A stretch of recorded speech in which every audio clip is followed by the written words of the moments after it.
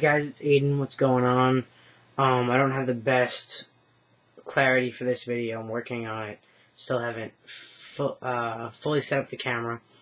But I figured I would make a video on binding. So what we're going to do right now is show you how to take a binder off. I can't show you how to put a binder on because more body parts have to be shown for that one. I'm not really sure I want to go there. But let's do this. So here we go.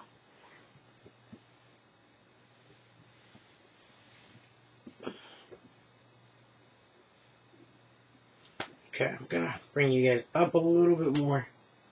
That should be good. Okay. So I wear lots of layers, as you guys can tell. White t-shirts. Okay, so this is my cover binder.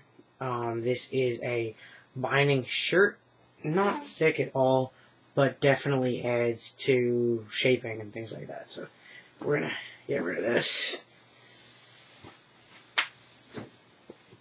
Okay, this is the actual binder that I wear on almost daily basis. Uh, pretty cool thing. Uh, um, not very thin or thick in general. Uh, if we can go down a little bit.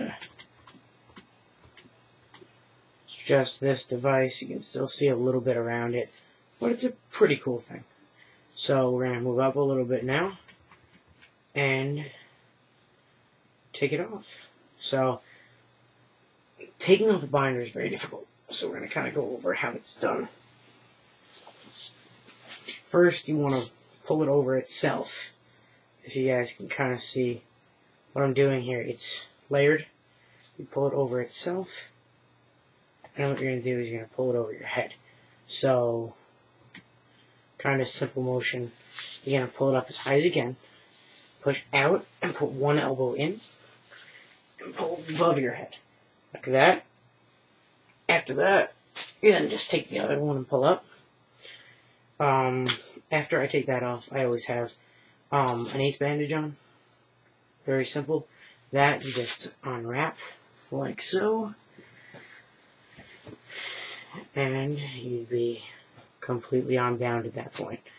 Um, binding's not the worst thing in the world. It really could be so much worse. Um, but can't really stand doing it that much longer. Um, to be completely honest,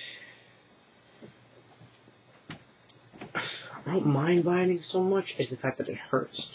Like, as you guys saw, I kind of double bind and use an ace bandage, which is really dangerous. I don't recommend it for anybody. But, um, for me, I don't really care. But anyway, um, so I do all that, and I also have, um, I have cuts all over my back and all over my chest that are going to scar, because I really don't care how much pain I'm in as long as it looks good, which is how most trans guys act. I can't get my neck. Um, one second. Yeah?